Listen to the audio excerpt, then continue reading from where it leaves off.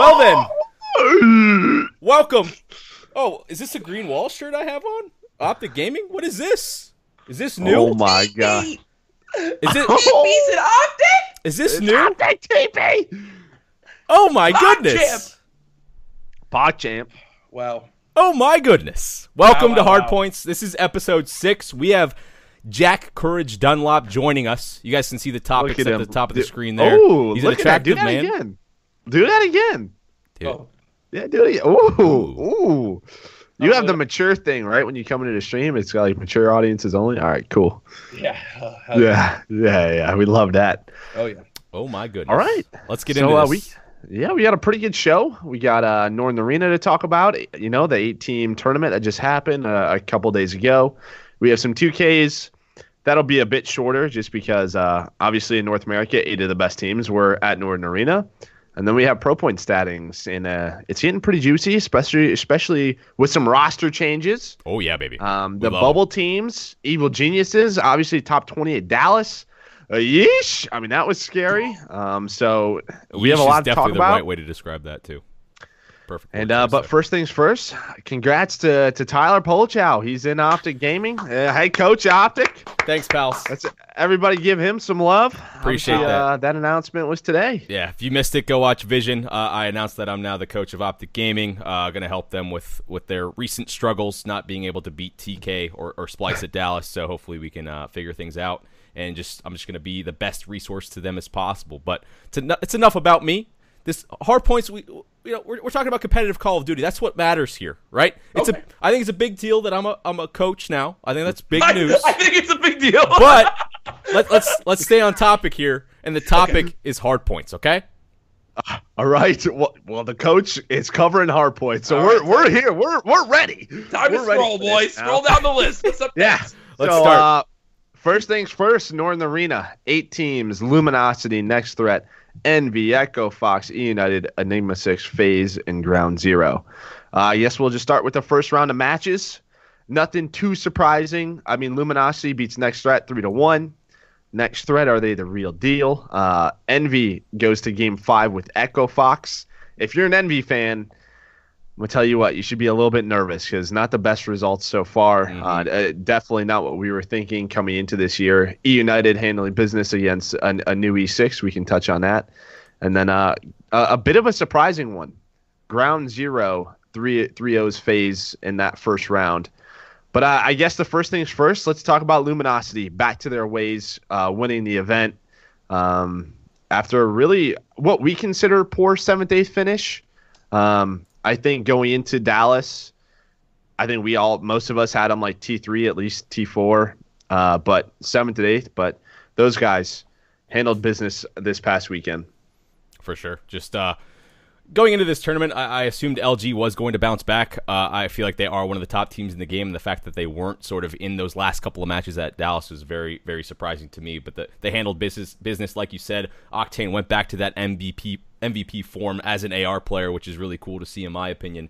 But I thought the whole tournament went really well. We got to see a lot more of these uh, individual teams on land. Who's being able to clutch up uh, in specific next threat is, has been going absolutely huge lately, and actually making a lot of improvement. So it's cool to see those boys really stepping it up and getting some uh, you know high tier wins under their belt. A lot of game fives for them, but they're getting through. Yeah, I thought uh, I thought it was super interesting to have an event where you don't have you know optic splice or, or TK at. Just kind of let the other teams go ahead and fight it on out. See who's really you know the top tier. Who's kind of right on that bubble as we talk about. One big thing I know we're going to get into is is the pro point matchups. Yeah. So that was what I was really interested in seeing. Um, I must say I wasn't surprised to see the two teams in the grand finals that we did see. I think those were pretty pretty easy to cl- uh, call from the start. Um, while yes, you know we saw FaZe do well uh, at, at Dallas, I I was unsure if Replays was going to be able to keep up that same level of of kind of play he had at that event. And Replay said after uh, the Montreal event that he didn't play up to his standards. So we'll see how he bounces back for NOLA. But Mhm. uh, LG LG are are a scary team as we expected when they formed. Um, and for them to win this event, it's like okay, I feel like they did what they were supposed to do, uh, especially after losing Dallas. It's good Yeah, confidence. absolutely. Hmm I, I think that's what it was, right? I mean, I think like Dallas was just surprising. Like, obviously the event was put into two days. There wasn't many breaks, and what they just lost uh, a couple of games in a row, and just like that, you're out of the tournament. I mean, Yep. we talk about it on broadcast a lot of times. Like these guys will survive the winners bracket or, or, or pool play. They'll get in the winners one, and then they'll just lose two matches, and you're all of a sudden out of the tournament. So I think that was the big thing for Luminosity was just they had to bounce back. They made some adjustments, but the guy I want to talk about obviously is Octane. I mean, he was sort of the the MVP of of this event. Overall, he has a 1.41, a Yeesh. 1.92 S&D KD, which I think was huge for them. Yeah. Because he had an incredible game five in the finals versus E United. Um, you know, 1.13 CTF, I, I- 1.45 hard point. I mean, the guy was really just untouchable this event. just really fun to watch overall, especially you know going into the last couple of, of series. Octane's one of those players where when he wants to win a tournament, he can almost single-handedly put the team on his back. The fact he was able to do it on maps like Gibraltar as well was very, very impressive. Uh, just basically taking over the map, getting streaks, and snowballing their way to victory. It looked like Yeah. a, a classic LG performance, to be honest. I- If I'm trying to learn something about Call of Duty right now in an AR player, I mean, I, I think I'm going to watch Slasher and Octane so far from what they're doing in Call of Duty World War II. They just look like they're meant to excel in their roles. Um, Obviously, I think that's also at least a little bit of a testament to the performances they have around them. Yeah. Uh, a little bit more of the strengths on LG than we saw from Envy. Uh, I, I- I feel like again, Envy, we, we thought they were going to have a little bit of a slow start to this year. I think that this is an event though that I would have liked to have seen more from them on, and I know we'll probably talk about all sorts of things uh, in this, but with Octane putting up those numbers, obviously 1.41's a little bit high, but the guy had a 1.25 at, at Dallas as well, right? I mean, you think you take out some of those top top echelon teams, and his stats go up a little bit more. You expect him to kind of fluctuate between that 1.25 to 1.35, which, you know, in the peak of all time for like the, let's say Formal and IW, that's kind of where he was. So if Octane keeps these numbers up, that's a huge, huge boost for LG. Yeah, and the thing to me is right. So if you go through their back bracket run, they three one next threat, they three zero envy. Obviously, you have an octane slasher battle right there. Like that's you know what you just talked about. Jack was Yeah. two of the best assault rifle players, but I think just the team uh, of Luminosity is just better than Envy right now. And then is when you get to E United, right? They 3 0 Envy, then you get to winners finals and finals. And uh, a huge discussion, especially last year, was all right, you have Formal, you have Octane, you have Clay, you have, you know, guys like Mad Cat and, and Zero. Now, when you talk about an Illuminosity E United match, matchup, you don't talk about Clayster in the AR role, right? Like that that isn't there right now. Instead, you're looking at Arcitys.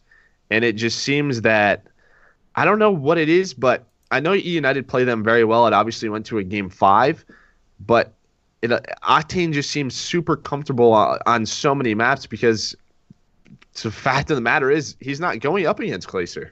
Yeah, for sure. The one thing that I actually did like to see was United's London Docks hardpoint, for example. Clay was pulling out that AR more, and Silly was taking that second sub sort of role. That's that just needed to be a thing from the start, in my opinion. But like we said, we brought it up a lot of times on hardpoint hard, hardpoints already, where United's going to struggle on those maps where Clay is pulling out that third sub, and that's not a, mm-hmm. a hit to Clayster's play with a sub whatsoever. I just feel like when, when you talk about the best ARs of all time in Call of Duty, Clay's on the list, and he's high up on that list. I just feel like he he brings that different level of map control that honestly you might not be getting from from Arcitys at times. And again, this might sound like I'm you know bringing down Arcitys' play a little bit. I think the guy's been fantastic, but it's just a different style of play that I feel like they're still trying to work out. And you know they they did do well at this tournament, but they still it, it's apparent at times when they start to struggle. that, that that's the key for me as well. Is we're seeing this with a few teams that right now they're just trying things out. Some roles are a little bit different than than they're used to, and you could look back in years past and go like, okay, well, once they changed that up, it made a huge difference. You know, once this was something that was switched. Like right now, again, we, the hot topic too with E6 is the whole general running a sub versus an AR. You know, Yeah. has that paid off? Whatever, whatever. Again, we'll get into that. Um, but this is just one of those examples. I think the thing though that's that that everyone needs to keep in mind is compared to years past, you don't have the time to be doing these things and not making very fast changes because of how sure. quick we get to the land league, right? We have our 2Ks. Yes, the Montreal event, we have two events, and then we're there. You know, the land league is now starting in what, late January instead of what was April last year. Uh, And that makes a major difference. That's three, four months of development and meta and making team changes. That's why for some people, like with the E6 change, it's like they had one event, they immediately changed for Montreal.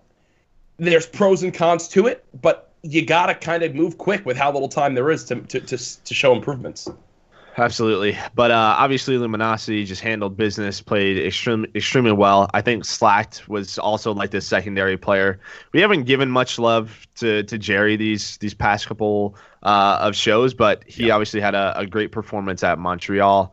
Um, again, this is sort of Octane's duo the past couple years, and then John and Cap. You know what you're going to get out of those guys. I mean, those guys know how to win. But overall, it just seemed like Luminosity they they were handling business. They knew if they didn't come out of this event with a win, I think they probably would have thought there's issues at, at hand that they would have had to fix. Um, totally. Because I, I, I think you even saw in sort of how much they celebrated the win. It was just kind of like, we got stuff done. Yeah. Uh, business as usual. Thanks for the free cash. We're out of here. Totally. And, that's and that's kind of what I, that's kind of what I mentioned earlier. It's like, yes, did they not have the best performance and finish at Dallas? Absolutely, but still mm-hmm. coming into this event, it, it's almost like the Optic Gaming complex where it's like, you know, it, right now TK do, do look exceptional, but still, for as long as that is a roster of four, they've got to be damn near close to being your event favorites, if not your event favorites going in. Yeah. So uh, congrats Luminosity. Moving on though, let's talk about the second place team, E United. So you have a second place here. You have a fifth, sixth at Dallas. We started to touch on it. From what you guys have seen from role adjustments, can they win an event this year? Do you think this roster can still do it because last year I, I think if that winners final or, or winners semi goes differently at, at COD champs, it will forever haunt yeah. them versus Envy. Sure. And they get into the final, or you, and you see like in United versus Opti, I think things should have got crazy at COD champs. But it seems like there's certain issues, and when things go bad, it goes really bad. What do you think needs to change for this United roster? Uh, honestly, with the way that the meta is right now, I, I don't think they they'll win an event. I, I, think the biggest thing that would need to change for them, and I don't know, uh, this is just me just completely making a guess, but if the if the me, the weapon meta changes, and what I mean by that is uh, if the FG42 is changed, uh, you know, at all, if a different weapon comes into play later in the year, because it's Call of Duty, changes do happen with the weapons. You never know what's going to go down, but I just feel like with the way things are currently plated I, I don't think so. I don't think they have that extra push. Uh, I don't think Prestinni, he's kind of going, he's so streaky as the sub player on that team. Mm-hmm. He has those games where it completely takes over. We saw it on a specific map on St. Marie at Northern Arena where the guy was just yeah. completely shredding, pre firing everything, just playing extremely fast. And you just aren't getting that game, those games from him so often. I feel like he doesn't have a lot of, you know, he doesn't have another fast player with him. It's simple as that. And I feel like it creates a, a, lot of issues for them at time where he either has to play slower than he wants to, or when he does want to play fast, he doesn't have someone to follow him up. Thoughts? Jack? Jack? Disagree? No, sorry. Uh,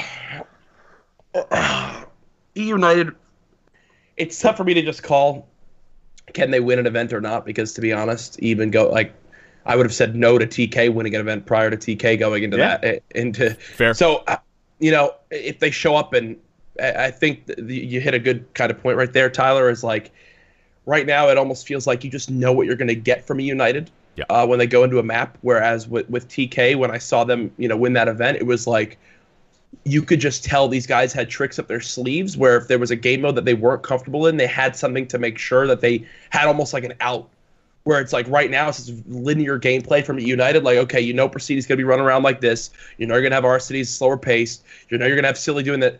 And, and, I think it really shows on some maps where they just get absolutely smoked. Um, the one that stands out obviously was the kind of the Gibraltar hardpoint where Prestinni had like a nine and thirty performance or something like that, and you're right. like, like, like. It, I mean, I never played pro, but is that something where like mid map you're like, guys, I need to do something different, or you just like doing what you should normally do and just getting destroyed and you just are like, we'll figure it out after. Yeah, like, I, it, it's one of those things where I think sometimes you get into such a rhythm of like sprinting around that, and it's that mindset that okay, I have a submachine gun, I have to do this, yeah, right? Like I have to get into the hill, I have to push out cuts. And sometimes, as selfish as that may be, and I, I think Tyler can speak to this because he was that submachine guy his whole career, where it's better to just prone in a corner and slow the game down for yep. yourself and, and, try to get back into that that rhythm that that you're trying to reach. Because again, I, I just think that I, I went through it as a player. When you pull have a sub out, there's just all right. I have to get to the hill. It's my job. I'm the objective player. It's on me. And I think a lot of times he can get into that mindset and, and not play selfish. He plays a little bit too selfless, if anything. Hundred percent. And I can speak to this just from years of and years of experience of boots on the ground gameplay, specifically like online uh, using a sub. There needs to be those times, Joe. You said it, where you just you, you have to reset your tempo, uh, especially in a game like this where your sub you know, if you're in a good spot, you're going to win the gunfight 99% of the time because you're probably shooting against an FG, things like that. But when you're getting pinned down, especially on a map like Gibraltar, for example, you need to reset your tempo, slow down, limit your interactions as much as much as possible until you get that sort of groove again. And we see the teams that are able to do that so well and so consistently are the teams that have some of the best sub player in the games. And right now, that's TK and that's Splice. You never see their their sub players having a real dramatically bad game they're going to go you know negative at times. There's times where you just get pinned down, you get streaked out, but things can snowball out of control very quickly. I feel like that's the reason E United United does struggle at times. They have yeah. looked good at hard points in specific, but there's times where Prestinni's getting completely shut down, and who's going to step up as that second fast player and pick up the tempo form again? If he's having those games where he's going 10 and 25, who's going to be the second guy? Like Silly can play a good sub, but is he necessarily fast? No. Clay can play a good sub, but is he fa- a fast player like Prestinni? Not even close. So it's just he like, tries to be. he times, tries to right? be, yeah. But yeah. but pr- when you watch Prestinni play, the the guy flies. He plays on a high sensitivity, and he it, like it's like a it's like watching a Jerd.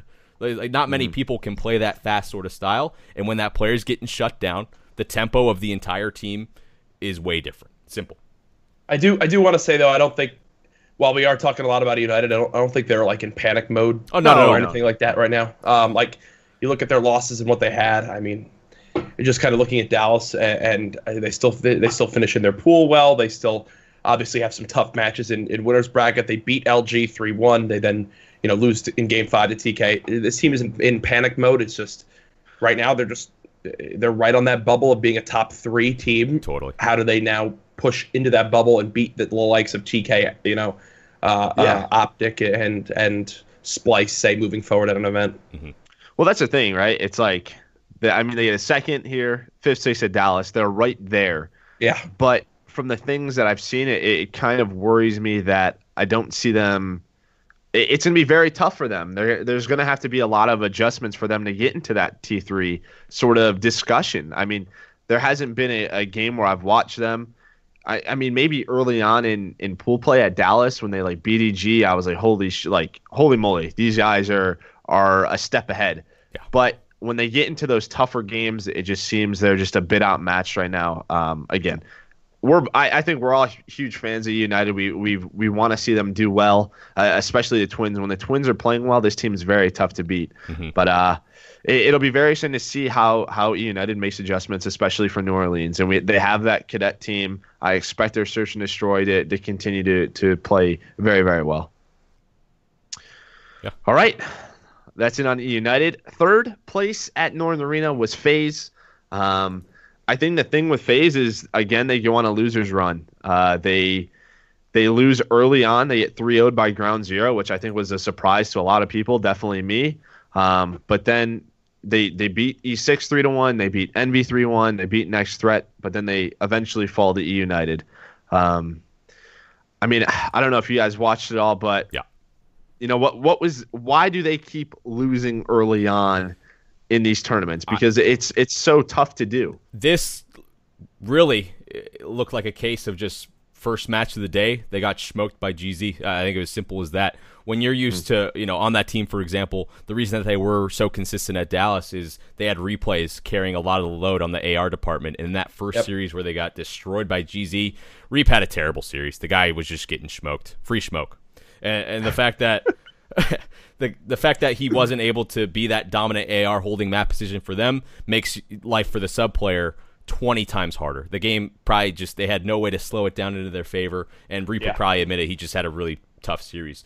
I, I just thought it showed a lot of composure from them that they're able to make another loser bracket run, get a huge mm-hmm. win over over a team like Envy, and then carry it over and get the three one versus like a cruising next threat. The, it shows consistency, and when you have consistency like that in the loser bracket, I feel like they were. Uh, they will potentially put it together to actually have a winner bracket run to see how far they can actually push to get you know an even better placing at a tournament. Yeah, I, uh, I I couldn't agree more. I mean, the weird thing too is like this FaZe team at Dallas, right? We we talk about the losers bracket run they have to make. They're in the group of death there. So it's like Mm. they finish two and two and they drop down. They beat EG and Ghost, so you expect them to do that, and they lose to Splice and United like you'd expect. Uh, and then they go in that losers bracket run there, and kind of looking at it, it's like they beat Unilad, they beat Red, they beat Envy, they beat E United, and then they lose to Splice, who obviously went on to the grand final. Um, and, and at this event too, it's like I know some people are saying replays was sick this weekend, and I'm sure he was, and, and he was again his own biggest critic. Uh, but we've said this with other te- uh, other other guys. It's like that was probably replays at Dallas. I mean, that's got to be up there for one of his best events ever, right? Oh, Uh, yeah. Oh, with for the sure. numbers he put up. Mhm. And this is not a knock on him at all. I mean, the guy's a world champion for a reason, but it just comes down to they get that event, they go 9 and 0 in CTF. If he doesn't put up as spectacular of numbers as he does there, does FaZe get top four? You know, do, is is that a thing where they they drop in the top eight, top twelve, and it's like that's the event? It, that's what I'm wondering for Nola. Nola's going to be the big the big thing for me for FaZe for the future. It's like, all right, they've already proved that they can hang. Right, the big worries of is, is if the Priestahh switch was okay. You know, okay, we're seeing that there's some potential there. Are they going to crack through now? A- a- And again, they're right. They're a bubble team for me uh, with the United right now. Yeah. Can they beat Splice? Can, do do we think right now? And I guess I'll throw this to you guys. Can their submachine gun presence match that of Splice and TK and you know uh, Optic if if you throw them into the loop as well? It's like I, I don't know. It's weird to say because I mean, what three years ago I would tell you absolutely yes. Like there's Yeah. no reason, but I and I've been a you know a big person on saying that ZooMaa and Attach can be the best sub. what what is going on now, Jack? I Sorry, Ed. Yeah, yeah, yeah. I. I I think that the, that duo can be the the best submachine gun duo in the world, and they have been at times. It's been a long time since we've seen that, um, but it, it it really does play on them. I mean, it, it's tough to say right now. They they can't. They they don't. You know they don't beat those teams consistently enough. I haven't seen a ZooMaa AW performance where I'm like, holy moly, Yep. this is incredible, or, or even attach early on in Black Ops Three. Um, it, it's tough to say, but yeah, I, I mean, I agree. I, I don't think they can beat those teams without those two performing at, at a world class level. Yeah, I, I think. I honestly think their average placing is going to go down if this roster sticks as the year goes on. I, I kind of agree with Jack. I, I like. Do, do I think replays and Priestahh are consistently going to have those crazy good KDs? I, I don't know. I mean, they've done it multiple times now. They've had good loser bracket runs, and this is probably going to make some people angry because we've got some proven results. But you have one good event and you have one bad event with your AR. That's already scary going into NOLA. Like, what what if it happens again? Loser bracket runs are so scary. They they don't seem to do well early on in tournaments. Uh, like, eh, obviously, we saw it at Northern Arena. The the fact that like GZ, here's my point. GZ's a team that shouldn't touch FaZe, in my opinion, for how consistent Yeah. FaZe has looked.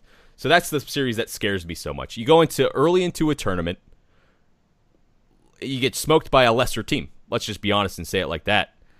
That that scares me for the future. Well, and it does it scare you too? Like it seems like E United can handle them pretty well. Yeah, And E United's a team who, again, we just talked on. They struggle versus teams like Team Kaliber, Splice, and Optic. I mean, if FaZe can't put up a better matchup or a better fight versus those teams, it's they're going to be in that sort of six through twelve range. I, I agree, like the the entire year. Uh, one, one last thing I want to add before we move on to another team discussion is the fact that FaZe can remain so consistent is their CTF. That swing map. We've talked about it for years and years and years. You can reset your tempo in the series. It's like that perfect balance between hardpoint and S and D in terms of you know getting a, a rhythm going in terms of kills, but it's still slow enough where you can like play a good team game. So I feel like that the fact that their CTF is so damn consistent is going to be the reason why they are hovering in that top six range consistently. All right, so FaZe they get third. They do pretty darn well. Again, they just lost to to United, ground zero early on. The next team I want to discuss about is Envy. I'm Are, are I'm you fired okay? up on this one, Joe. Okay. right, you're fired on up. this one. Take it, Jack. Okay. because I was so excited for the prodigal son Hook to return to COD. I mean, You guys know. I mean, I worshipped him like he was my own child. I look think forward we all did. yeah. Yeah. I was so excited, right? Right now, we've now seen this NV team compete at two events. Have we seen an impressive series victory out of NV yet? Has there been a series victory from NV in these two events where you went, that was huge? I just looked at everything and I can say no.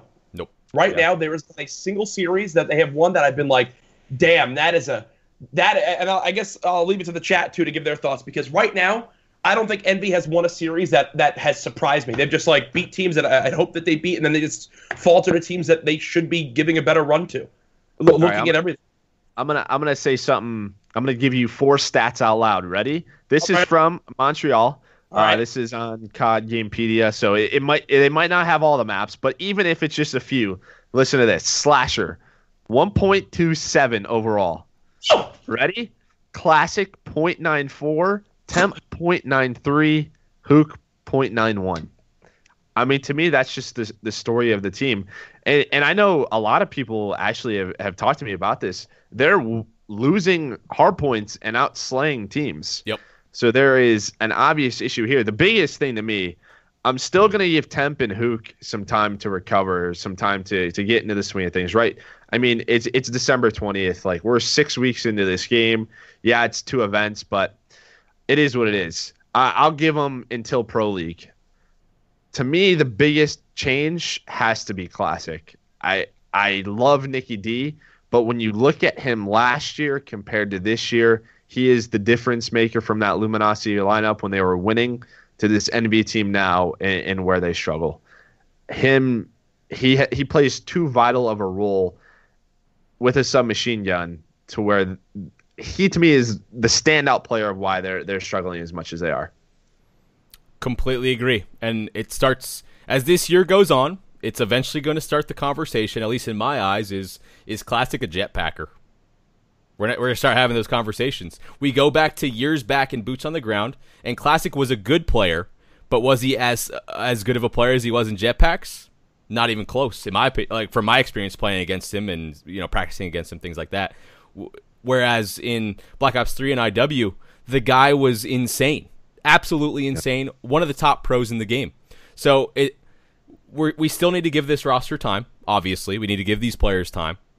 But a- if Nola goes by and he has another .91 or what .94 whatever it was, like uh oh, Yeah, that that's, at Dallas, that's scary. Dallas has a .88. Dallas is a .88, and that's with seven matches, right? So I mean, obviously the .91 is two or three games, but at Dallas you have even more testament. Again, this was a player last year has like you know ones and up all the way up to like I, I remember discussing at like pro league stage uh, what is it two when they came in for their their regular week matches and he had like the best weekend we've ever seen him and he had like a 1.2 with an erad Yep. and that is the biggest drop off to me for this team. And this is another topic that we haven't really talked about too much, but a lot of people before this game came out was like, "Oh, pro COD pros are COD pros. All people are going to be on the same level going back to boots on the ground." Well, huh, what's happened here? Has some player have some of these pro players gone back to their average level? Uh-huh. So far. So we'll see if that trend's going to continue throughout the rest of the year. It's a little bit early to say, so I might be wrong on that. I hope I'm wrong. But some players are at the t- top tier of the jetpack scene on the pro scene and have dropped back a little bit. Jack, you're smirking. What's your thoughts? Listen, Tyler. I mean, I was someone who was verbally abused as being a jetpacker, and then I got on boots and still showed I had what it takes. Right, the 1.07 land KD, four and one map count, Uh, one there match is. record. There's the plug. Uh, you know it was coming at some point. Can I have that, please? I love it. Okay, this day's not all about you, Mr. Coach DP. um, but again, uh, this could go down for me for an organization as big as Envy as one. If this continues on this trend, right, and this year goes on as one of the biggest roster mistakes ever. It- Yeah. It, it, uh, obviously they, they they they they took a they took a chance, but this could be one of those things where this could be one of the biggest roster mistakes ever, where you threw think- away previous world champions. I think you you're got right. Back to the grand finals of a COD champs. I mean, Yeah. it wasn't like Envy went and bombed out at, at IW champs. They were in, they, they they went Uh-huh. from the winners bracket into the grand finals. They had the ultimate regain as a roster, and then they threw it I all mean, away. Yeah, stage two, second place. I mean, champ, second place. Yeah, both times they got beaten two best of fives. But I mean, if you're the second best team in the world, I'll You- take you that. take I'm that. okay with it. I'll I'll take it. Yeah. So yeah, I, I think yeah, Envy. Uh, I'm a little worried about them right now.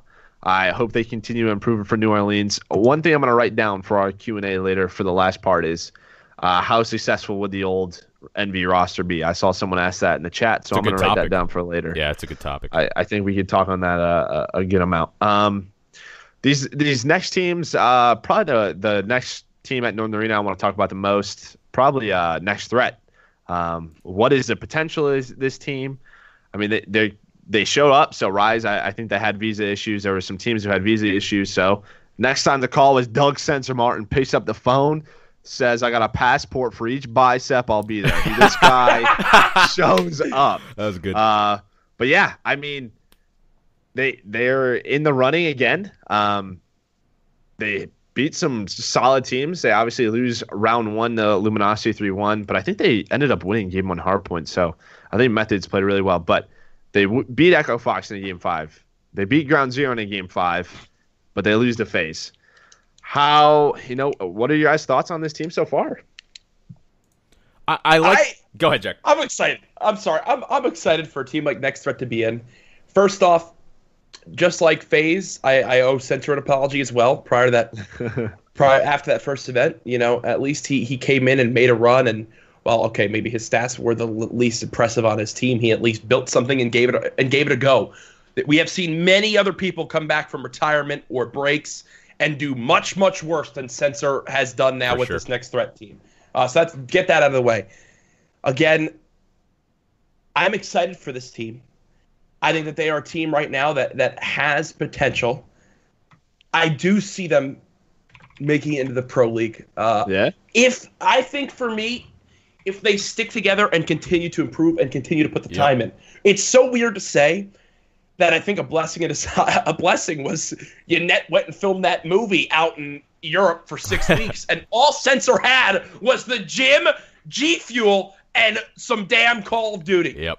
So he was grinding and he was playing. And every eight series I saw, Censor was in it. I was seeing him in four before tourneys. I was seeing him in this. So he put his time in, and so do the rest of the boys.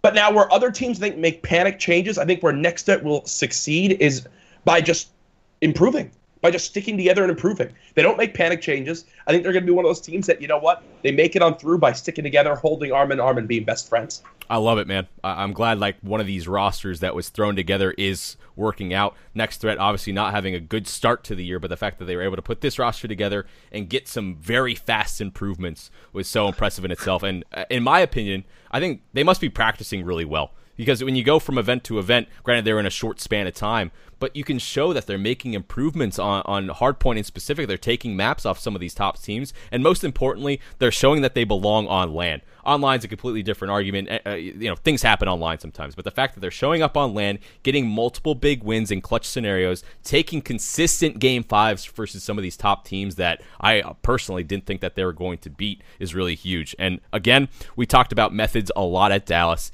He, he was doing it again at, at Northern Arena, man. The, the guy's Well- been the most consistent slayer on the team. The KD for him are, are unbelievable. He's taking over hard points. Just watching him play, he, he's making smart plays along with getting a lot of kills. Just a great job from him. Well, here's the thing to me too, right? Like this nice, uh, like Doug and Ricky were just throwing teammates out the window. Yeah. Like they were just like, all right, on to the next two, Didn't on to work. the next two. Didn't work. I, I was super surprised that you know Methodz and Naga actually said, all right, let's do this. Like they were on some solid rosters going into the year. They didn't end up working out, but they took a risk on this entire roster, and it's proving so far. I, I mean, you sort of hit the nail on the head. I'm, I'm going to read out the Northern Arena stats. So Ricky has a .98, Methodz a 1.3, Nagafen a .78, Oh, and wow. Censor a .9. Naga. Naga. Now again, I, I don't know Nagafen, Kajipedia that they could clarify if that's all the games. I'm not Yeah, too Did sure. you just say .78? Wow. Yes. I thought Naga did better. Well, that that was at Northern Arena. Um, Yeah. At, What was the Dallas at stats?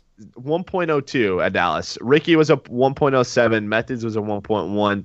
Censor a 0.78. Jesus. Uh, I'm, all, all, all kidding aside, uh, I heard I heard some stuff before this team was formed in regards to kind of how it all came to. Two maps And I think- missing. Okay. I think this is basically four players Hmm. that you know the two different pairs that were unhappy with their surroundings. Joe, you brought up a great point where it was like Ricky and a- a- and Censor were just kind of going through and churning people through, and on the other side, they played a couple two Ks, they had a couple changes, and then they were just like, you know what? Both these guys like we have one last chance to make a change. Let's just do this, and they kind of formed together like some Transformers type stuff, and this is the team that they came out with. Um, the, again, take this all with a grain of salt, but but I, I'm still looking for for these victories where I'm like, this team is the real deal. Where I'm like, Yeah. do it. Yeah, I think that's fair.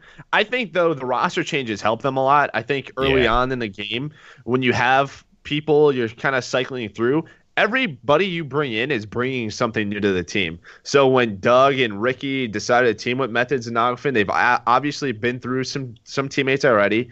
They have different ideas on how they should play, and it seems to be working out pretty well. They have so many idea, different ideas. It could be from you know their teammates that they were playing 2Ks in, whatever it is, but it's worked out pretty well. Um, I guess the next question is because listen, man, it scares me. Do these guys? This is a team I can see choking a pro league spot, right? Like at New Orleans, they're just having a bad Friday. Pool play, Wow. they go like one four or something, zero and three. Does this team throw it away, or do you see them making it? Hmm. Don't even put that thought in my head. You got, I gotta ask the tough questions. I mean, I think they're gonna do it. I think Yeah. they're gonna do it. I I don't think Naga's gonna be that .78 guy. I think he's gonna be hovering right around a one. Same with the rest of the players on the roster. I think Doug, Doug's one of those players where he can just have those events, and Doug's traditionally been a player that clutches the hell up when he needs to. And Oh. I feel like he's gonna turn up when he needs to to qualify for Pro League, and Doug Censor Martin is gonna be there in stage one. I, I, I, I, wanted to give some witty and crazy and funny answer to this, but then I just scrolled down and looked at the pro point standings, and I, I just clenched. yeah, Like they, they are within what, uh, one bad 2K performance of Rise, E6, Lightning Pandas, EG, and Ghost.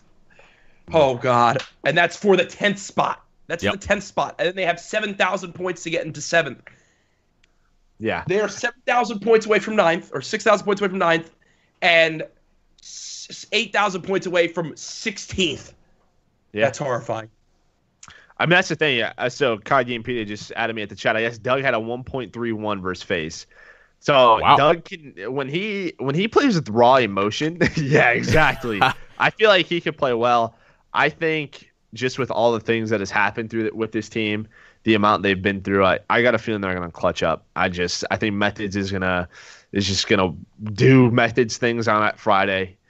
I could even see them getting out like winners one and securing it. I I'm a big Let's. fan. Uh, I'm gonna transition this to like let's. Look, I have the pro point standings up on the screen right now. So okay. right above them, next threat versus GZ. Who do you think takes that matchup? I'm taking next threat. Both of you, just real quick, pick one. Next threat. Jack. Round zero, baby! Okay. Okay. Okay. You move up the list again. Next threat versus Echo Fox. They just beat them three two at Northern. But What? granted, Echo Fox had a fill in. Jar. Yeah, yeah. I'm taking Echo Fox versus the next threat. Yeah, I am as well. I am as well. Here's that- the thing that scares me. It's not above them, it's below them. Yeah, right? it- I was I was gonna do top Yeah, two yeah. above them and top mo- bottom 2 Let's below them. So then we go on, down to Rise. Next threat versus Rise. Who you guys take? I think I I think I go rise. I think I take next threat. No joke. Yeah. Yeah. Jack. Uh, I think I think I I think I take Rise. And then we go down to E6. Uh, the roster change obviously going down. I don't know if that roster is going to stick or what the hell's going on with that. But next threat versus E6. I take next threat again. Yeah, I, I do as well. I think you should go two more. Go to the next Two- two spots. okay, 'cause down again? It's interesting. Yep, these last two. Okay. So then we got Lightning Pandas versus next threat. That's a tough one for me. I I take t- next I threat. take next Lightning threat. Pin is, hasn't hasn't done chat, enough. join us. Put put your thoughts.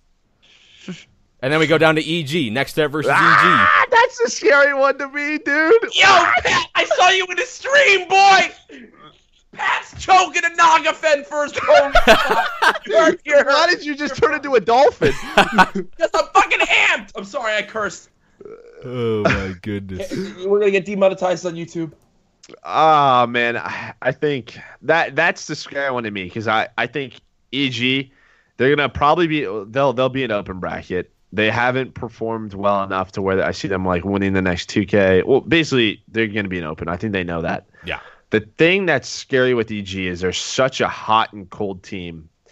If they run through open, thing is that's the big question: Do they survive open? Yep. If they survive open, I actually see them qualifying for Pro League because I think they're gonna have so many games under their belt. Yeah. Just what we saw with FaZe, just what we saw with Echo Fox. I think they take that momentum into Saturday and Sunday and they get in. So someone's got to choke.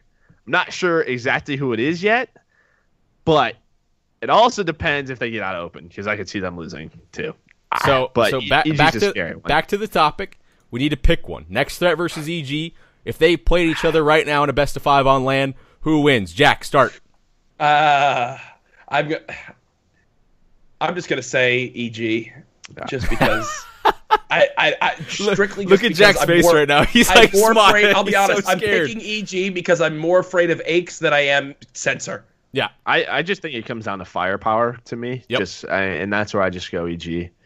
Um, I, I think that's obviously like even just spinning off the stats that I said. If next threat's going to continue to win games versus the top teams, it's going to be a grind to like game fives. I just don't know besides Methodz if someone else can step up and, and slay the way that they need in, to win respawns. Who do I pick? Shoot. Dude, EG's just looked horrible. I don't know how I pick them. It looked good, right? Like Friday or Saturday pool play. Can, like Joe, can you can you pull up Dallas stats for EG? Yeah. You got that ready? Uh, I need let's let's go over this real quick before we move on. Okay, so you have Nameless a .87, uh, AX01, Enable a 1.07, Apathy a .99. I, like, .87 is bad, but I don't think you can be like, all right, That's- dude, this yeah, guy. That's not that bad. Can I can Uh, I quickly just cover something too? Yeah. So I just want to cover EG's matches at at, at Dallas really quick. yeah, I just think we to- should. So they finished 2 2 in their pool of death as well, alongside FaZe, with just a little bit of a worse map count. They lose their series to E United 3 1. They beat Splyce 3 2. They beat Ghost 3 1, which basically beating Ghost at Dallas is like facing four spoons with guns. It was like nothing, so. Uh, and they lose 3 0 to FaZe, and that was everything, right? So they have their ups and downs in pools the thing was, obviously, we know, is that reverse sweep loss to MF. Yep. If EG don't choke that, that that game terribly, that series terribly, then I honestly I expect them to move on and you know beat the likes of Epsilon, and then they would go on and face Echo Fox after that, which. At that point, Echo Fox had played a five-game series with MF. You could have probably gone either way, but But I think you finish it, Jack. Like, if they beat Mindfreak, they beat Epsilon, they're what, top 12? Like, they're, they're, they're safe now for pro points. Like, that's it. Like, that was their Sunday morning, and and they choked it. It just went away. Yeah. Okay. I, I'm super scared for EG because hmm. they haven't clutched anything. They're a good team. Wh- When they when they don't have pressure on them, they're slaying. They're doing fine. they got the veteran leadership. They choke everything. They choked that hard point on London Docks to E United when they were sitting pretty. That should be a clean win for them at, at Dallas. They they mm-hmm. choked a an easy series versus Mind Freak, and Mind Freak is in the what top 24 range? In an mm-hmm. open bracket where they have to clutch best of threes. Ho- that's scary as hell. They like i don't know Yeah, no, it is. It is. Like I, I think what is it like around five or six is like right around that that scary range for the open bracket, right? You play that when we have a normal schedule. You'll you'll play that Saturday morning. EG will, and I, the the mornings obviously not too good to to EG. Thing to me is. I, I don't know. I, I I know Pat's in here. He probably is going to disagree with me. I would still love to see Pat run a sub more again, when I teamed with Nameless and we were pretty successful, he was running an AR. You just sort of play around him. yeah You let Ace and Apathy run around and, and slay things. But I'm sure they'll figure it out. But oh, it's no, New Orleans is going to be fun, man. There's going to be a lot of eyes on them. it's just weird. Like I look at this roster, I'm like, oh, they should be fine in a map five scenario. But like right now, I'm just, I'd be so scared. And I feel like if you put this team in like a winner bracket round one, they're when they don't have as much pressure, they have a loss to work with. I wouldn't be surprised if they take a, a series versus one of these top teams. But it seems like for whatever reason, when their back is against the wall, uh, when things start going bad for them, they're getting 0-5 comeback on search. They're losing 120 point leads in hard hardpoint. Like a lot, it's happened. A, happen. Uh, it happened a lot. Like what the hell's wrong? That it's and it's almost like like when they talk about it and you you heard like all right because you know a big critique was there's too many leaders. I almost wonder if just like they're almost like too mature about it. Like nobody's just yelling at one another. Like so, yeah. if someone's got to yell at someone, yell at someone. Like I, I, I want to hear I, their comms so bad. Yeah, I wish so. I could listen to comms. But yeah, we got a little off topic there. But yeah, sorry. Okay. Um, no, I loved it. That was a great conversation. Uh, so yeah, next threat. Um, they finished what fourth at, at uh, uh, esports arena. And the next teams we can just kind of skim over. Yeah. Um, Enigma six, they pick up GodRx and Pander. I like the move personally. I just don't know. Oh, I don't know if it if it was worth it because obviously the pro points that Bevels and Decimate had, I, I think they would honestly be in a pretty comfortable spot right now, around like totally. nine or ten. Here, what do you guys think uh, of the move? I, I'm I'm being mean on this one. Okay, I'm being mean on this one. So, you have a decent Dallas, right? Hmm. These guys are finally in a situation to make break their way into a pro scene on a new team. You take all that practice, your first land practice on boots. Yeah. You throw it away, and then you get crapped on again. And now you're like, uh oh, did we make a mistake? Yeah. That, like, you, so you take all those things you learned from Dallas and you throw it away. What if they improved on several different things? They come to Northern Arena and they get a fifth through six or maybe a top four. It's all what ifs now. And like, Joe, what are your thoughts? Like, t- land experience is the most important thing you can ever take away from something. And you have another event that means a lot in a short span, the next weekend. Yeah, I mean, that's just it. I, think it was just a, a bit too early. Like again, I like the pickup of GodRx and Pander. They they've had an experience. They've gotten through open brackets. We've been wondering when when that sort of duo was gonna sort of escalate to the next level. Right? There's been a lot of eyes on them. Um, I, I just think it, it was a weekend too early. Like if you go to Northern Arena with that same roster at Dallas, get seventh day. All right, make your change. Um, I, I agree with you. I, I think that LAN experience is is super vital. It's super important. Obviously, let's let's just look. Like they would have played eUnited, they probably would have lost that. Would that team have beaten FaZe with Decimate and Bevels? Ah, I don't know. Who knows? Yeah, who knows? But my pro- my problem with it is like you put Pander and God GodRx into a, such a crappy position, right? How are you going to do well against all these teams that have been together and playing the game for a while? You're thrown into a new roster and you're just kind of praying it goes well. So now it's like it, it creates this circle of doubt over this team, and that circle of doubt is over your two new players already. Lateral move. Lateral move. Okay, I for me, this change is going to end up doing little to no good, in my opinion for for a team that went into the likes of Dallas and you know, yes, they didn't have their greatest performance, whatever they placed top twelve or whatever it was. I mean, uh, at least give the guys a, a, chance for the second matchup. Um, I just for the changes made, I don't care how good some of those guys are looking. One for Montreal, unless you literally add two of the top players in the game to that team, there's no way they're getting higher than seventh, eighth for me at that event. Yep. By making a change two days before to people that I don't think are going to show that much of an improvement right off the break, you knew they were getting seventh eighth. This is a NOLA move. Yeah. This is this for me is like a E6 goes into NOLA, and if they're going to make pool play, I mean, if they're going to make the league, they're going to go top four. They're going to get like a top four and be like, "We told you so." Yeah. But my heart is telling me they're making this move. They're going to place top twelve again, and it's going to be general looking for a fresh roster for stage two. Well, not even what, dude. What about Dashy? Like that dude should should be looking up. Like, yeah. Oh, I, oh my I just say Lord. general because he's the the Joe. The, yeah, yeah. Joe, status up here for E6 from Dallas. I'm going to the bathroom really quick. To Northern Arena. Yeah, you're fine. Let's Uh, let's stats. yep stats from Dallas and then stats from Northern. 'Cause- I'm actually super surprised by this. Are you ready for this? Yeah, Overall stats, Dallas is seven games played, 0.81 for General, 1.28 for Dashy, sheesh. 0.81 for Bevels, and a one for Decimate. Um, let me pull up player stats Okay. for them. General at Northern Arena, 1.15. Okay, he turns it around. Very nice. Pander 0.75, GodRx 0.85, Dashy 1.05. I just feel So- bad. I feel bad for the t- like that makes Yeah, that, ma- that makes Yeah. Pander and GodRx look horrible. But it's like if you look at the context, it's like they didn't have a chance. You're you're Yeah, put, I- you're put into this situation where you're playing some of the best teams in the world, and it's like uh, it is totally a lateral move. And I- like I mean, it, it it was two of the best. It was and the United. Like- Like, it, it does suck because man, again, they just got put on this roster. They got said, all right, you're going to this event, and Like, now a lot of people cool. have that sort of outlook on them. General gets a 0.3 KD boost. Cool, you still got last. Yeah. Is that worth it?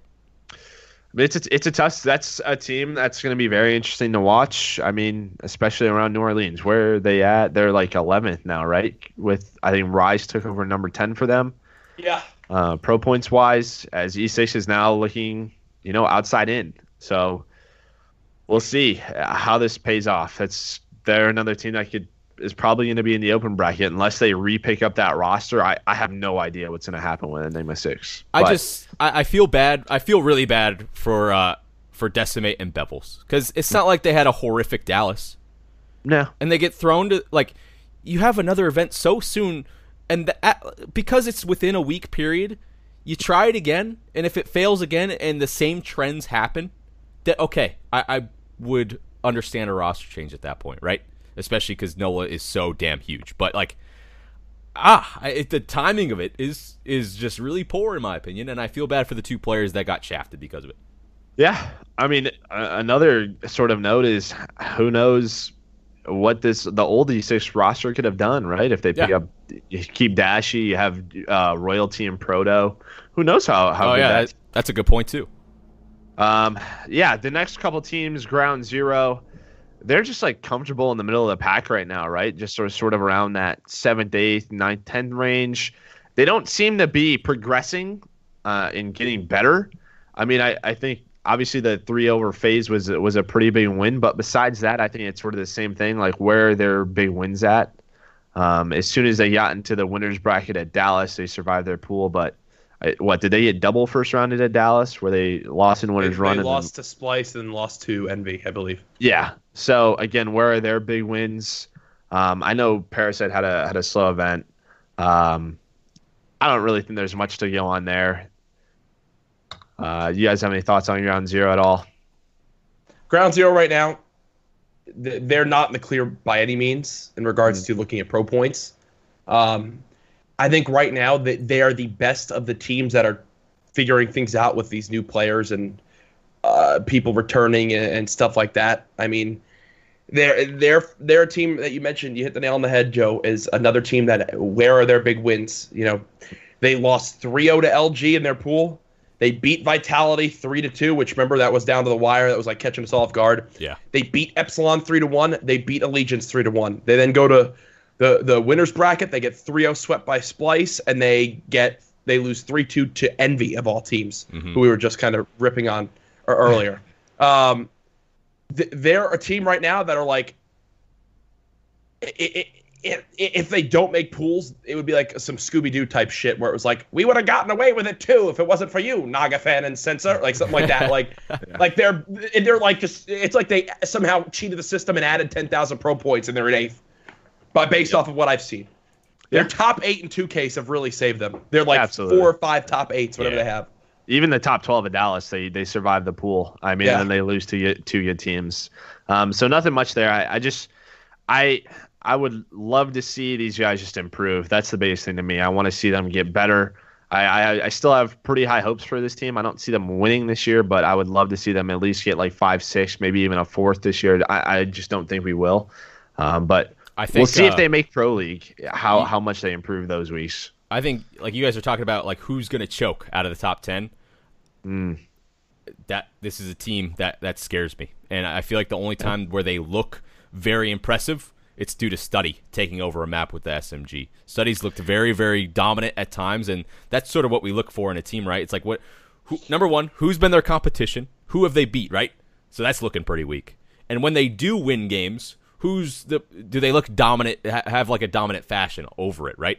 Has any other player on the team yet really like take over like Studyy has? Pharaoh's had a few good games here and there. same with Haggy, and then Blastfuls looked solid, but is it good enough? in your guys' opinion, from what you've seen Listen, on the individual level on the team? Studyy Studyy is a player that has like if there was a specialist for a person, right? Like the old games, so study weird. specialist.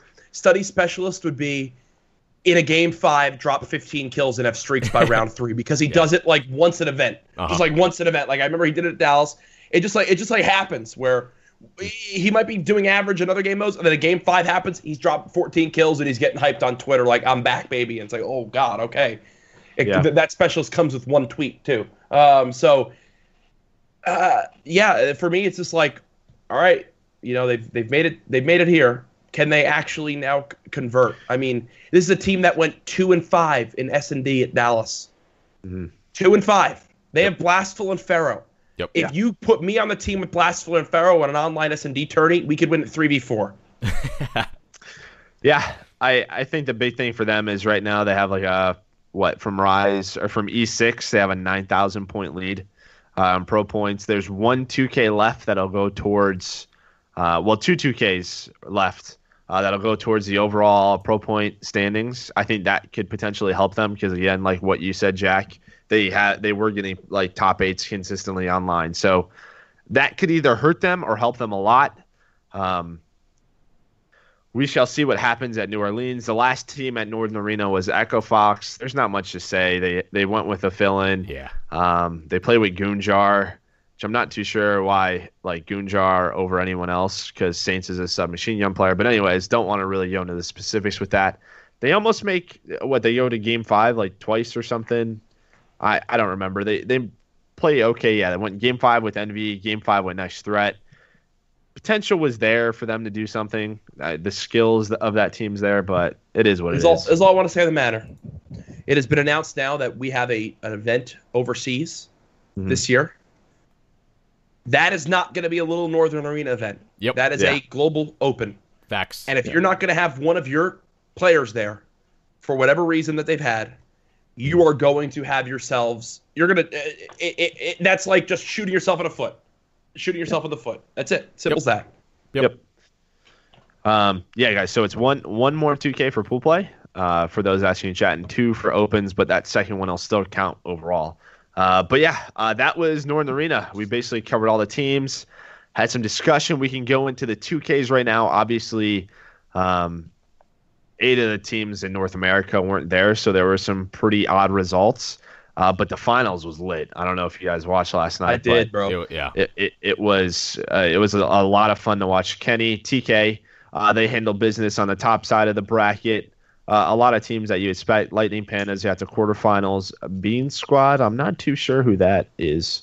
A Beezy, Reader, Scoliosis, Supreme Agility actually got to a semifinals. Wow. Um, they beat Lightning Pandas and they beat Ghost in Game Five. So Ghost's woes yeah. continue. Ghost struggling. Wow.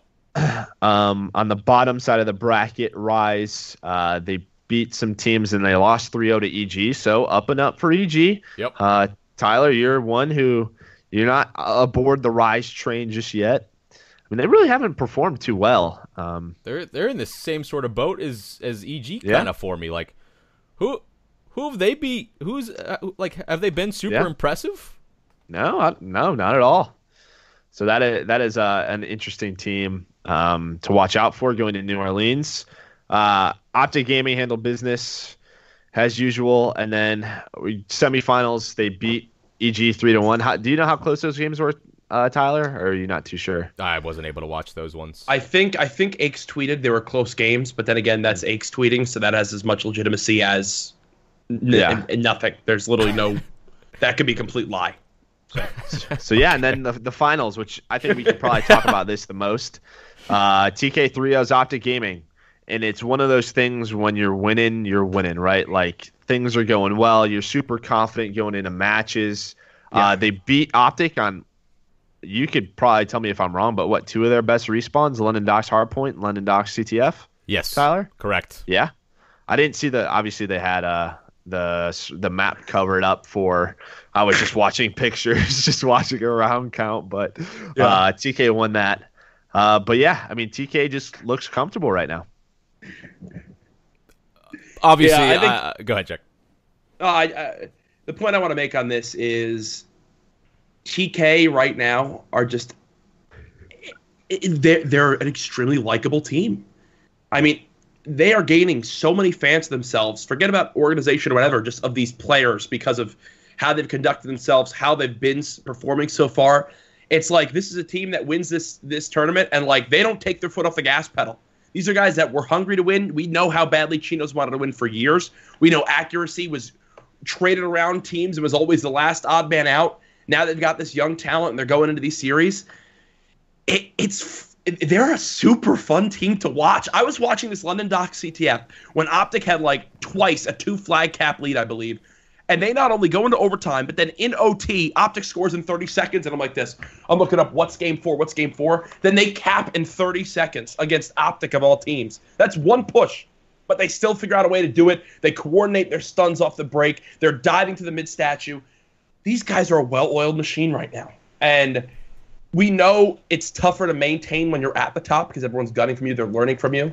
But right now, TK, they they they are just they're willing to do what it takes to win. They're not just gonna say we're gonna beat teams off gunfights. They're gonna run certain classes. They're gonna have these stuns on. They're gonna use these nade spots.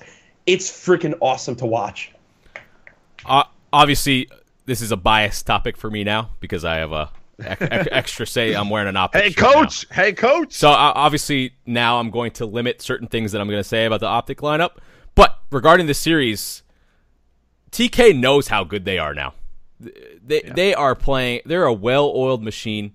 Kenny goes wherever the hell he wants, whenever the hell he wants to, and pops a two-piece almost every single time. The routes, the timing, and the confidence that Kenny has right now is it's ba- probably unmatched uh, as terms of SMG players go. Obviously, we can talk about Splyce uh, being able to match him somewhat in that regard, yada yada yada. But on the NA side, that dude knows what the hell's going on and makes the sub roll look Yeah. masterful. Go ahead, Jack. what what I really like too about him is that we'll see other pe- players who you know they use this hyper aggression and he's running the stun to help with that too. Like he'll pop it and then let him sprint more.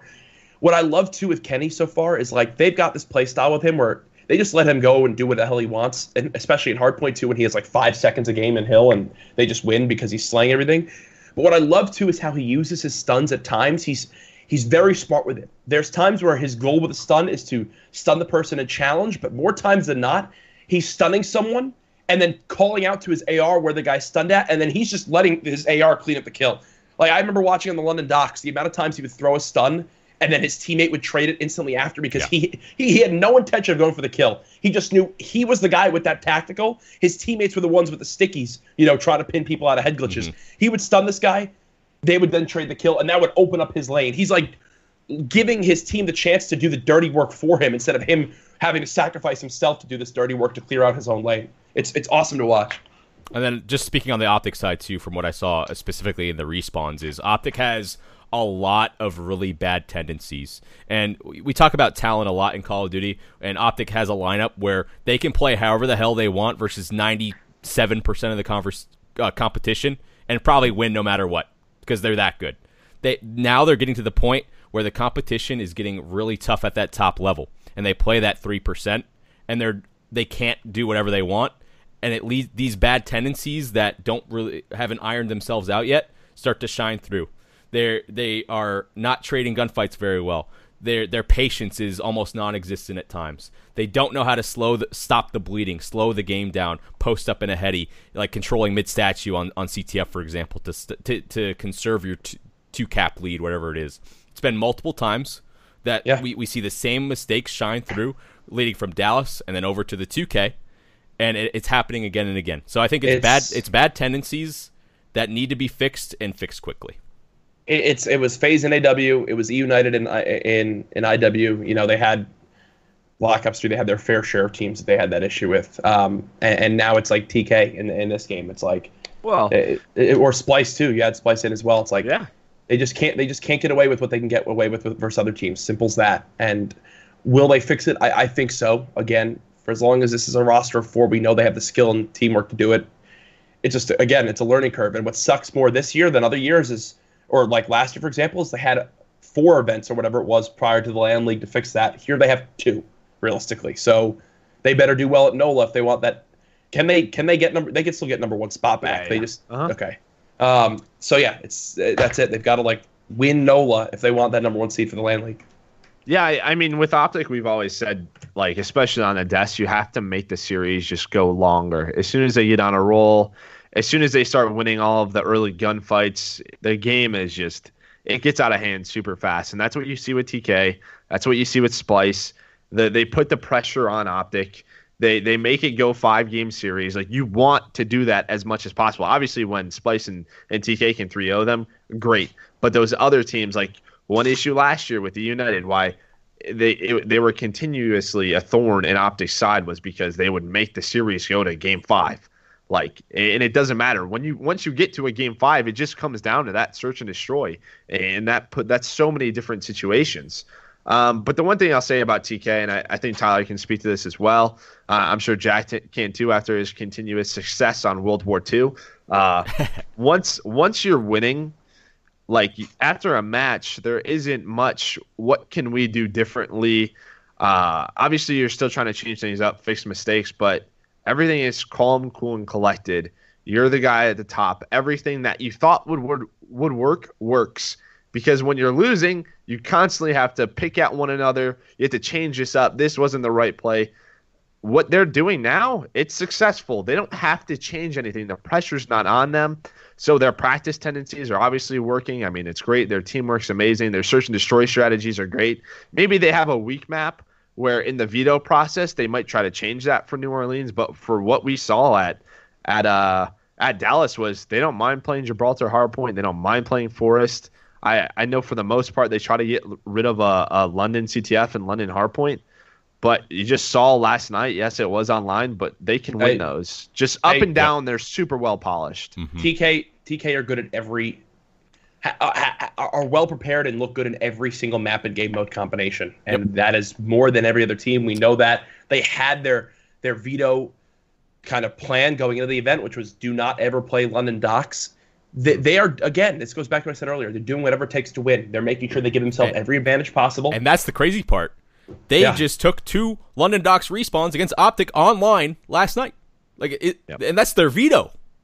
That's, Yeah. that shows how deep of a map pool that they have right now. And if you when you watch TK play, they never look uncomfortable. They they they run a lot of stuns. They make the other team change to like armored classics, thing, things like that that they don't want to take away the speed, so they don't have the airborne classes to work with.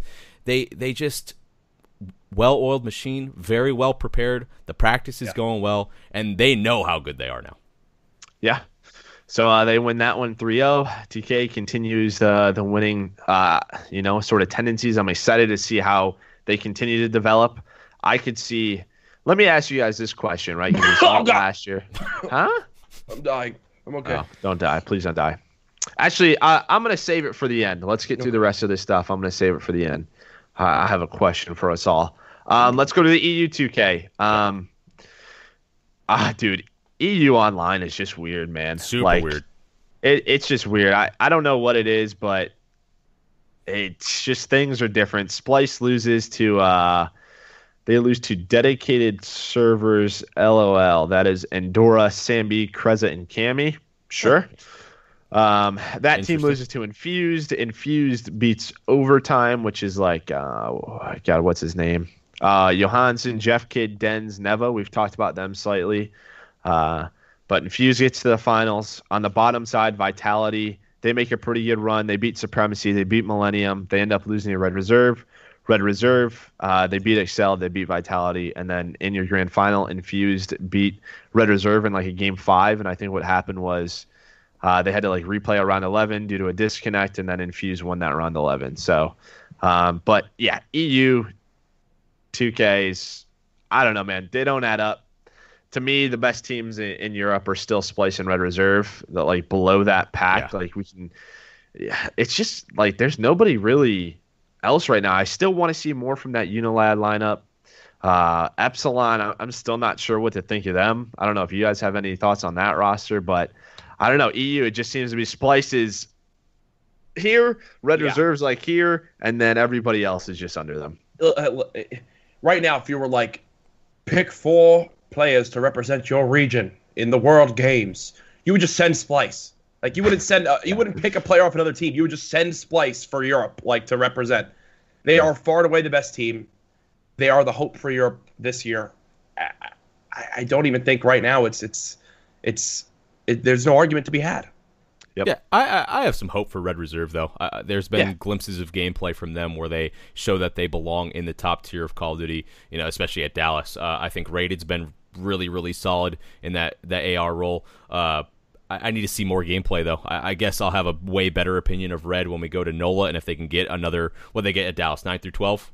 So if they Yep. can have another performance like that, that's solid, and I'll put a lot more stock into them. Yeah, and I think with the red team, it just seems like uh, they're just uh, another one of those teams. And I think it's really just the people on that uh, on the team. When things are going well, they're going really well. Like I, I talked about it at Dallas with Zero. Obviously, when when he was one of the best players in the world last year with Splyce, they won an event. As soon as that went away, you saw at stage two. Like as soon as he wasn't into into his rhythm, it affected everyone else.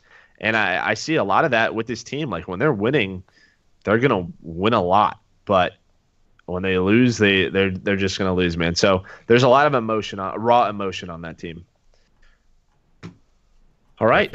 Um, I mean, we discussed pro point standings for for a minute, but if you want to pull those up, Tyler, Yep. you, you can really Pop quick. them up real quick. Pro point standings for the final time.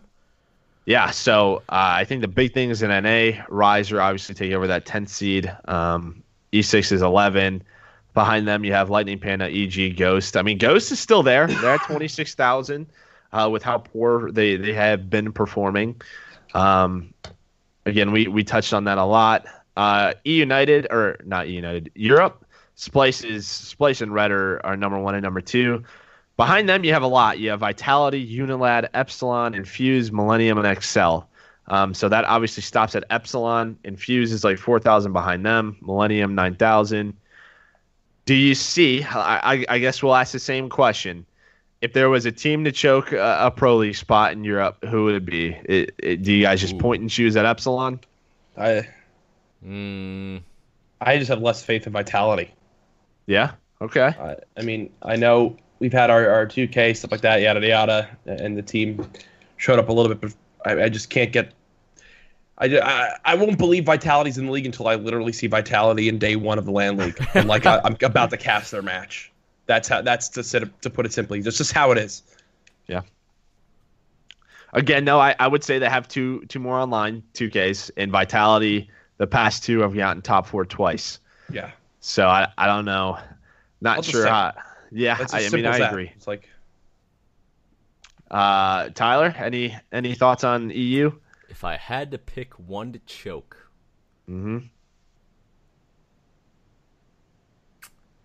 hmm, yeah, I'd probably pick Epsilon. Epsilon. Yeah, Yeah, I'm just not sure what to think of this team yet. Um, I saw people saying they don't practice that much or, or something. I, I don't I don't know. I don't have a scout in Europe, so yeah. couldn't tell you. Uh, but yeah, um, that's basically it for for the stuff we're gonna cover. Now we can do the the Q and A. I have some questions. I'm Okay. gonna I'm gonna ask the first couple. The Go- first yeah, one Go. I'm gonna ask is to you two.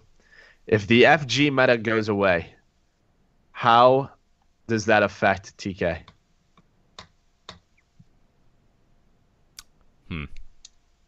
I think they're going to be just fine. Yeah. I think they're going to be just fine. I feel like they obviously look so well prepared. Their their map pool super deep. They veto a map that I think they're honestly fine at, which is impressive to say the least. Just to put other teams, they're, it's like they're thinking two steps ahead.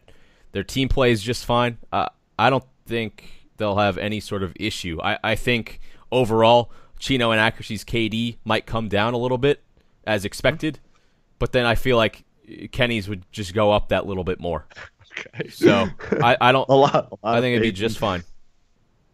If if the FG goes away, then what's the next best? Is it the bar again? Uh, yeah, uh, that's the all. Like, are we What assuming bar, the bar comes back in? I, I I'm just saying, right? Because there's a lot of people who are like, dude, the FG is way too good. Um, I mean, we saw it last year with Rise. I mean, as silly as it is with the OSA, I figured I'd ask if you guys had any thought on it. But I I agree with Tyler. I think just up and down how polished they they are. I I think they'd just be fine. Yeah. Sure. I agree. All right. Next one I had is, and we touched on it briefly. How successful do you guys think the old NV roster, and old by I mean JKap, John, Apathy, and Slasher, how good would they be in this game? I think they'd be amazing. I, I think they would be absolutely amazing. What was the weakest part of their gameplay in IW, or weakest player? That's an obvious one. I'd be Cap. Yeah, H- How is Cap look in this game? Just, just fine. just fine. just fine. Yeah. So, hmm, has John looked extre- has looked extremely strong, so they're fine there. And then apathy would be in a much more comfortable situation than he probably would have been on his lineup right now on EG. Yeah, I mean, App would be the biggest question mark to me because we still haven't seen him perform. You know, obviously to the level that we know he can. Um, I, I think again, you have Slasher on that team, and Slasher's been an absolute beast. So I, I wish we could. I wish we could have seen. I think that- they'd be that so good. roster. I just, I can't believe that. I still can't believe they made that change. I still can't believe that that all happened. That, the, the, okay, I would have believed it before they did way better i- at the last two events of IW that they were making that change. But then you get second at champs. I, I just don't see a world where you place top top two at champs and you make a change with the roster you've had. I Yeah. know it's enticing to get their old team back, but if that old team, like like let's say it's this scenario, right? let's say it's a scenario where that old team coming back was originally a godly boots team, then yes. But that was originally a good jetpack team. Yep. I they think had- a godly jetpack team. Yes. Amazing. yeah. a godly jetpack team that could never beat Optic. And then now you put them in boots where I don't think that they're going to be better than they were as a jetpack team against a team in Optic that people think are going to be even better in boots. I just don't see where the thought process behind it. you you essentially Jack you said this earlier one of the worst it potentially could be one of the worst roster moves ever that like it could have been one of the best rosters of all time and you throw away Yeah. that potential If Yeah. doesn't every team change right now? I mean, am, am I wrong with this? That every team change in the last two and a half years of Call of Duty has been a team change to build a roster to beat Optic Gaming. Yeah. And with the team change happening for Envy going into Boots, I just feel like that was a team change to make a team change because Slasher missed his old friends. What did Rambo just text me? Um, Joe dropped my ass after getting second at champs on Envy, so technically they need another roster change and they'll win again. Yeah. Wow! Wow! That's true. Oh! something in the chat. Riot, Listen. something. Listen. Listen. Nameless and Studyy are gonna leave, so that's all I really had to say. He knows that too. He's just trying to be a punk. yeah he's beat a punk for sure Oh well, nothing you can do. I ended up with a great team. I won a few Ray, championships, go so I can't be mad. Ray. Just go bowl or something, okay? yeah you you eventually got formal that was worth Great play. well, happy birthday, formal. Uh, oh yeah All right, uh, let's take a few questions out of out of the chat, and then because this has been a lengthy one, and then Yeah. we'll uh, head out. I said. go Yeah, it ahead is. and ask away chat ask away questions Um. Oh, first one comes in from Mirik. He says, "What does Twitch Prime do?" On the, Oh, Twitch Prime, huh? oh Twitch- Up the TV and Mark. yeah baby. Sub to these cha- support hard points. Hard points next week, guys. Uh, well, next Monday is Christmas. E- or is Christmas? Mm, yeah Probably not. Not next week. Probably the week after. yeah You guys aren't having hard points on Christmas Day? No No, no. okay, we're not. Uh, okay, so there's a lot of questions. What do you? Well, we touched a lot on E United. Hmm. if all right, if EG does bad, where do you see them going?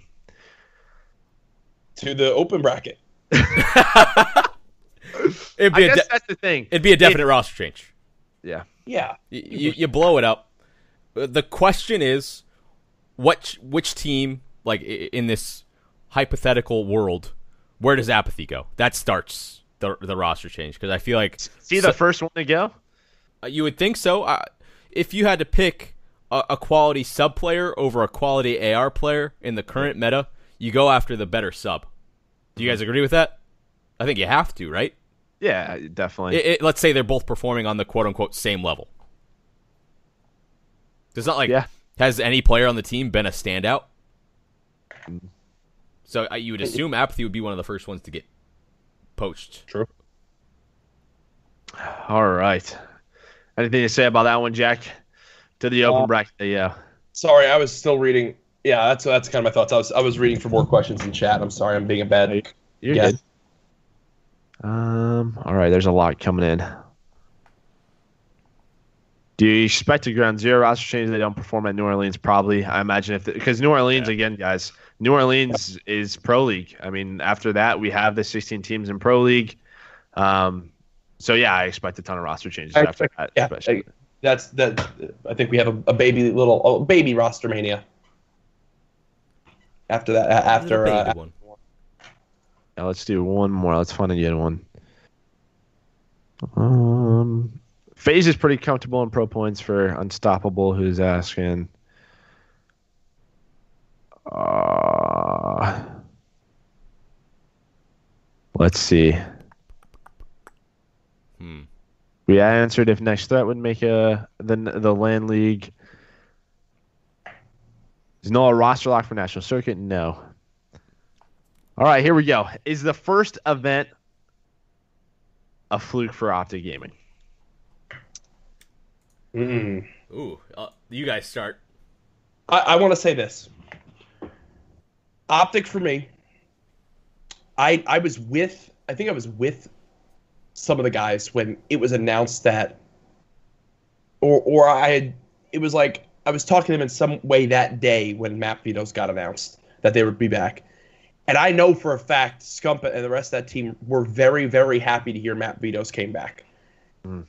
At the end of the first event, one of my most disappointing points parts of Optic was their decisions behind the, their map vetoes and selections, and it didn't care who they were facing. It was just this is what we just don't want to play, and I think that it's something that they need to improve on. That I think again with TeeP being now the coach of Optic will really help them. Um, Way to go, TeeP.